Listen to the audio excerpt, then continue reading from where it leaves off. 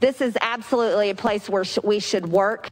Going out right now to Oval Office, President Biden and the Vice President there about to sign the COVID 19 relief bill.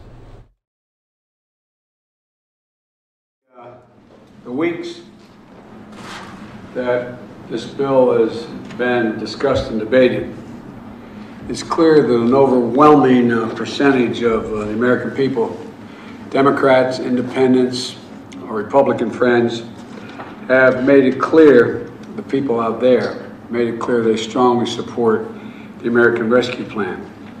Yesterday, with the final passage of the plan in the House of Representatives, uh, their voices were heard and reflect, reflected in everything we have in this bill.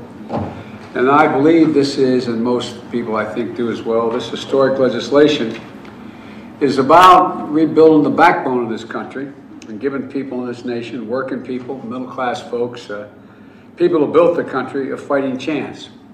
That's what the essence of it is. And uh, I'm going to have a lot more to say about that uh, tonight in the next couple days and be able to take your questions. But in the meantime, what I'm going to do is sign this bill and uh, make a presentation tonight.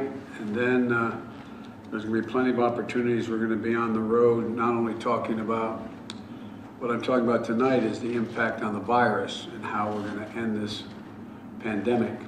And we're going to talk at all the elements of the bill beginning uh, on Friday, Saturday, and through the week. So, thank you for being here.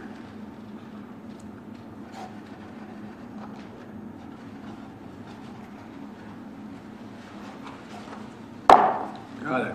Thank you all. Appreciate it.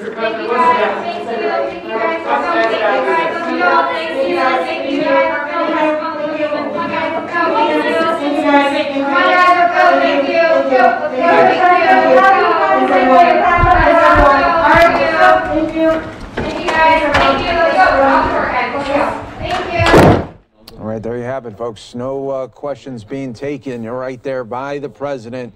Signs the bill and then walks off there. The massive $1.9 trillion partisan uh, bill there that was signed into law right there. And now we have a shot there of, of the White House press briefing room where we will soon be getting this press briefing in just a little bit. We'll see how many questions will be answered here.